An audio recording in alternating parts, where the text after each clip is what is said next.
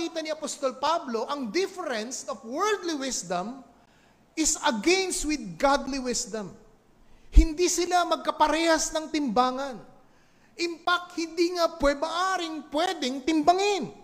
The church ought to understand that in God's economy, man's wisdom is nothing.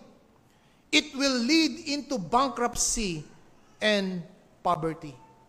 To buy into the wisdom of man is to buy in the devil's scheme.